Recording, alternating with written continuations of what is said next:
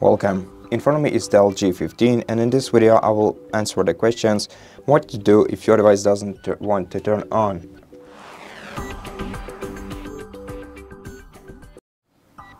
So basically to turn on your device, of course you have to press the power button which is located right here. Once you click on it, your device will start turning on and if it doesn't happen then make sure that your device is charged at least uh, uh, minimally.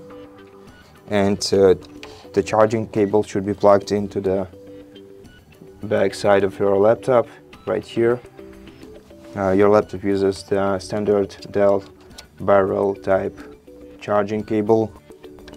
So enter it into the charging port and let me show you the AC adapter the original AC adapter that your laptop is using. Now here it is. This is the original Dell charging AC adapter. And as you can see it uses 100 watts. So if you're using a substitute then make sure that it provides your laptop with also at least 180 watts of power. Uh, otherwise your laptop will not be charging uh, enough for uh, to start up.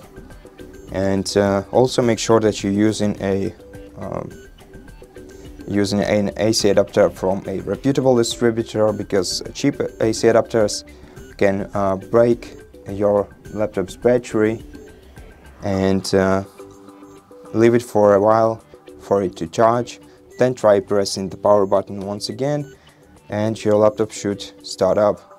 If your laptop doesn't want to start up uh, it might also mean that it has been disposed it has, has been exposed uh, to either extremely hot or extremely cold temperature for a significant amount, amount of time. In such case, you'll simply have to place it into the room with, with a normal temperature and let it rest for a while, sometimes up to 12 hours of standby mode. And once it once it uh, uh, recovered, uh, plug in the charging cable and then try to start up your laptop. And if this doesn't work, that means that your laptop, uh, laptop's battery uh, could have been wor worn out by this time and you should replace it. You should contact uh, Dell customer support service or head to the nearest repair center to let them take care of your device. And I hope that this video was helpful.